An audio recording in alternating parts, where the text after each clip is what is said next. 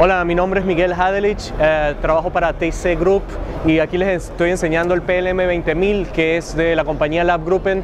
Este, este amplificador se está usando en muchas giras en el mundo, entre ellas está YouTube, Black Eyed Peas, Linkin Park eh, lo interesante de este amplificador es que es un amplificador de cuatro canales y tiene el DSP adentro, no hace falta tener un DSP externo.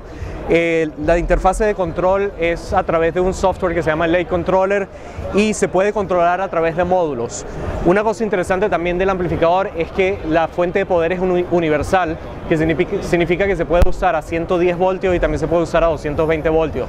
Así que si tienes alguna aplicación en Brasil, la puedes usar en Brasil y también en México y también en Estados Unidos sin ningún problema, sin tener que cambiar eh, la fuente de poder.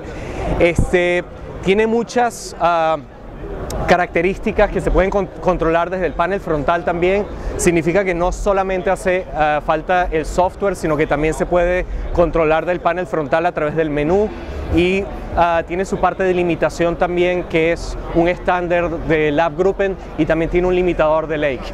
Por supuesto tiene toda la parte de ecualización ah, de Lake que ya se ha hecho muy famosa después de ocho años de estar en el mercado y pasa a ser el estándar de cualquier gira mayor en el mundo. Muchas gracias este, y se mantienen en contacto. De nuevo Miguel Hadelich con TC Group.